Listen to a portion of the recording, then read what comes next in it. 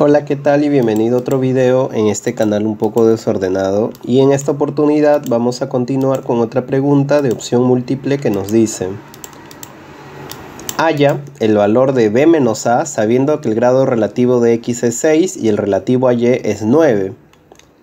Bien, cuando nosotros nos dan estos datos de los grados relativos de una variable u otra, lo que debemos hacer eh, de forma inmediata es revisar sus exponentes. Primero nos hablan del grado relativo de x, entonces vemos x, aquí está x, aquí está x y aquí está x. De esas tres apariciones que tiene x, cada una de ellas con su respectivo exponente, ¿cuál es el mayor? El mayor es a más 1. Entonces nosotros ya podemos afirmar que el grado relativo de x es igual a a más 1. Ahora, según dato del ejercicio, el grado relativo de x es 6, o sea que a más 1 debe valer 6. Resto 1 a cada lado, el 1 positivo con el 1 negativo se eliminan y 6 menos 1 es 5. ¿Qué es lo que tenemos? Que a vale 5. Ahora luego nos hablan del grado relativo de y.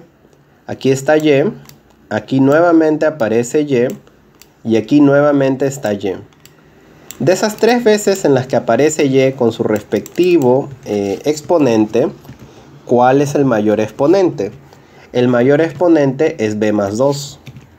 ¿no? b más 2 es el mayor. b, b más 1 y b más 2. El más grande debe ser b más 2.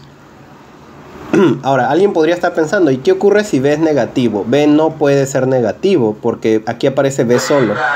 O sea, que b tiene que ser eh, positivo. Cero o positivo, pero negativo no puede ser. Justo a la hora, a la hora que quiero grabar pasa el del pescado.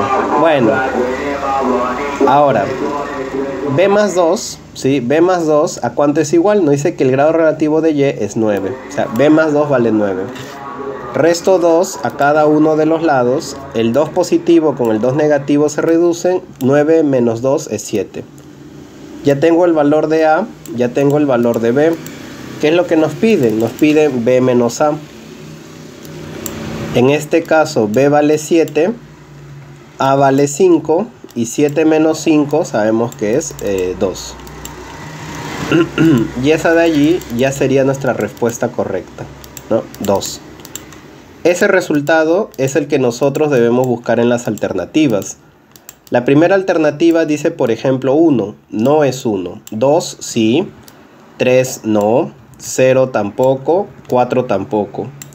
En este caso, nuestra respuesta correcta sería la segunda alternativa. Bien, espero que este ejercicio sobre polinomios y grados relativos haya entendido, que sigas visitando el canal, que sigas encontrando más videos de tu preferencia. Nos vemos en una próxima oportunidad. Chao, chao.